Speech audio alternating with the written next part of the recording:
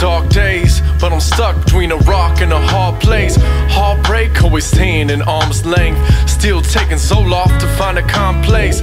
Mixing medication with morning meditation. Try to clear my mind, but it's never Nathan. Feeling lazy when I'm doing the most. Past haunting me like a ghoulish ghost. Therapists say the memory might be repressed, and that may be why I'm living depressed. Yo, it's hard to contemplate how my biggest demon live in my conscious state. Uh, what kind of trauma could have been conjured for my brain to lock away and never thought of? Every day seems to bring a new battle. Trapped in darkness behind me like a shadow. Life can be so hard for us to cope. That's why we all drink and be puffing the smoke. Those tough times be leaving us fragile. When you, when you live in the shadows. When you, when you live in the shadows. When you, when you live in the shadows. When you, when you live in the shadows. When you, when you live in the shadows. Trying to unravel out the shadows, but the path is narrow. Like walking across a bow and arrow, reading information about my situation, searching through till I found association. Learning how the conscious will drift away when trauma's too severe, especially during rape. Reading symptoms and they seem to match too well. Asking mom and dad, hoping that they do tell. They don't have a clue, they don't think it's possible. Slowly the idea becoming less logical. Maybe I need more sessions of this therapy. Mom has it, did I get it inherently?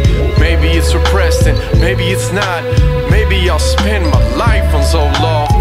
Trying to transpire, get up out the gravel. Trapped in darkness behind me like a shadow. Life can be so hard for us to cope. That's why we all drink and be puffing the smoke. Those tough times be leaving us fragile. When you, when you live in the shadows. When you, when you live in the shadows. When you, when you live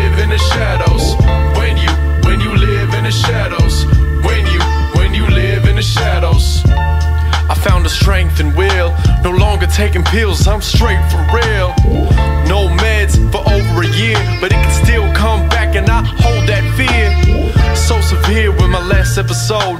Felt like I didn't wanna rap anymore. Last time that I felt depressed, felt my career slowly regress.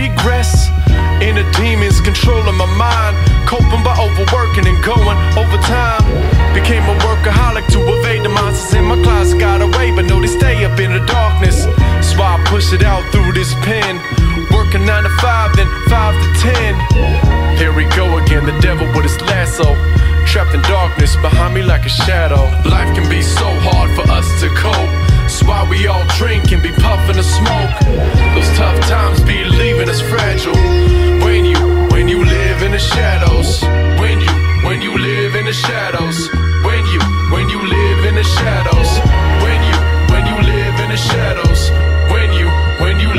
shadows.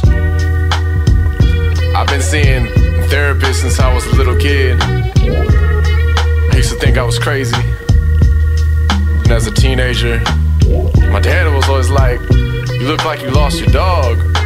You look so depressed all the time. Told me to go back to therapy. I was so against it. But as I got older, I started to realize realize how many other people go through this. Started to realize I'm not alone. Started to realize that this is all part, all part of the human